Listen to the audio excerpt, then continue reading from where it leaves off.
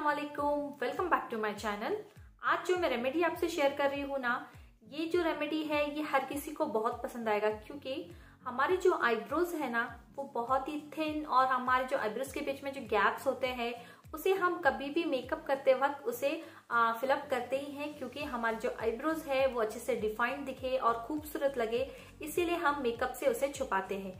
अगर हम उसे नेचुरल तरीके से ग्रो करें ना, बहुत ही ज़्यादा खूबसूरत लगने लगेगा। मैं सच कह रही हूँ ना, अगर आप लोग भी इस तरह से अपने आईब्रोज में जो मेकअप करके उसे डिफाइन करते हैं, जो आपके आईब्रोज लाइट है, उसे थिक दिखाने की कोशिश करते हैं, एकदम थिन हो जाएँगे तो वो कैसे लगेंगे? और हमारे चेहरे से अगर आईब्रोज को हटा दे तो आपका चेहरा कैसा लगेगा? तो आप इमेजिन करके देख लीजिए कि बहुत ही अजीब सा लगेगा। तो इसीलिए तो हम अपने मेकअप से, अपने आईब्रोज को फिलअप करते हैं, जिससे हमारा चेहरा जो है वो डिफाइंड दिखे और खूबसूरत लगे। तो हम इस तरह से नेचुरल तरीके से हमारे आईब्रोज को अच्छे से अगर ग्रो करेंगे ना तो हमें मेकअप लगाने की बिल्कुल भी ज़रूरत नहीं पड़ेगी, उसे फिलअप करने की बिल्कुल भी ज़रूरत नहीं पड़ेगी। अगर आपको फिर भी आपके जो आईब्रोज है वो अच्छी तरह से ग्रो नहीं हो रहे हैं, उसकी वजह से आपके जो आईब्रोज है वो थिन दिखाई दे रहे हैं तो आज है ना मैं आपसे एक अच्छा रेमेडी से शेयर करने वाली हूँ, जिससे आपके जो प्रॉब्लम है, जो आपके आईब्रोज बहुत ही ज़्यादा थिन हो गए हैं तो आज मैं जो रेमेडी आपसे शेयर करूँगी ना, उससे आपके जो आईब्रोज है, वो अच्छे से ग्रो भी होगा और आपके आईब्रोज एकदम थिक दिखाई देने लगेंगी। अगर हमारे जो आईब्रोज थिक दिखाई देने लगते हैं ना तो हमारा चेहरा बहुत ही ज़्यादा खूबसूरत लगता है। चाहे आप मेकअप कीजिए, चाहे आप मेकअप ना कीजिए, वो ऐसे ही बहुत ज़्यादा खूबसूरत लगता है। लेकिन जो मैं रेमेडी आपसे शेयर कर रही हूँ, उसे आपको 30 डेज़ तक इस्तेमाल करना होगा, तभी आपको जाके इसका बेस्ट रिज़ल्ट मिलेगा। तो अगर आप इसे पाँच छह दिन इस्तेमाल करते हैं, फिर छोड़ देते हैं तो आपको इसका रिज़ल्ट अच्छा नहीं मिलेगा, क्योंकि इसे थोड़ा वक्त देना होगा, क्योंकि हम, है ना, कभी भी हमारे सब चेहरे को अच्छे से केयर करते हैं, हम आईब्रोज भी बनाते हैं, लेकिन उसे ग्रो करने के लिए हम कोई भी चीज़ इस्तेमाल नहीं करते हैं। बस हम यही सोचते हैं कि हम आईब्रोज का शेप दे देंगे और बाद में मेकअप से उसे फिलअप कर लेंगे। सभी लोग ऐसे करते हैं, मैं भी ऐसी करती हूँ, लेकिन हम अगर उसे अच्छे से ग्रो करेंगे ना तो उसे मेकअप से फिलअप करने की बिल्कुल भी ज़रूरत नहीं पड़ेगी। नेचुरली हमारा आईब्रोज बहुत ही ज़्यादा खूबसूरत लगेगा। तो चलिए मैं आपको बताती हूँ कि आज मैं कौन सा रेमेडी आपसे शेयर करने वाली हूँ, जिससे आपकी जो आईब्रोज है, वो अच्छे से ग्रो करने लगेगा और आपके चेहरे को भी बहुत ही ज़्यादा खूबसूरत बनाएगा। तो चलिए वीडियो को स्टार्ट करते हैं। अगर आपको वीडियो पसंद आए तो इसे लाइक ज़रूर कीजिए। इस रेमेडी को बनाने के लिए आपको एक छोटा सा प्लास्टिक का कंटेनर लेना होगा, जिसमें हम ये बनाएँगे।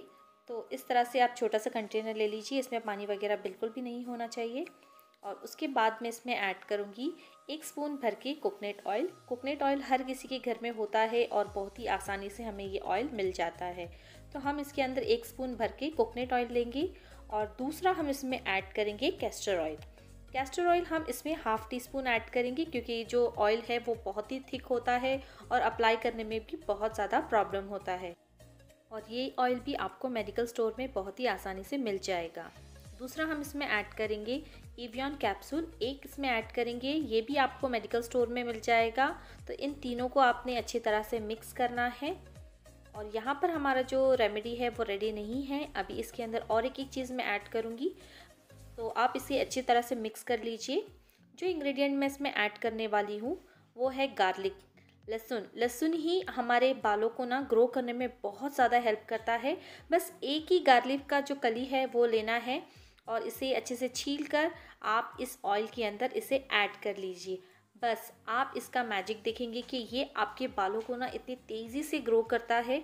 आपके जो आईब्रोज़ है उसे बढ़ने में बहुत ज़्यादा हेल्प करता है। तो आपने देखा है कि मैंने चाकू से बस इसे थोड़ा थोड़ा ऐसा आ, अंदर कट लगा दिया है।